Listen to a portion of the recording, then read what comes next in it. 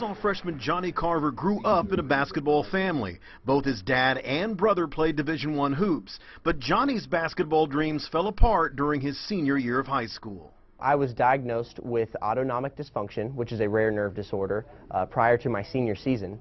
So I had to stop playing and uh, I wasn't able to play like my brother and my father did. I always had a lot of health issues while I was playing. Instead, he dove headfirst into writing a book called Ranketology.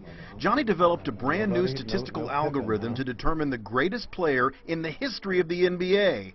He started with the 75 best and then whittled it down to the top 25.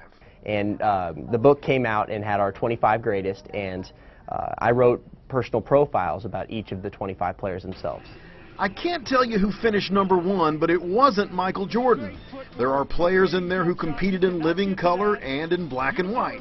LeBron, Kobe, Shaq are there, but the older players from the way back machine compared favorably with some of the current stars. The biggest thing that we did is we took NBA Finals MVPs, which were created in the 1968-1969 season, uh, and we have separate scales for players that played before, during, and after those years. So players that played before, they have a higher statistical weight for other categories, you know, such as number of championships, uh, career points, uh, playoff appearances. You know Michael Jordan's in there, but what about his buddy from Arkansas, Scottie Pippen?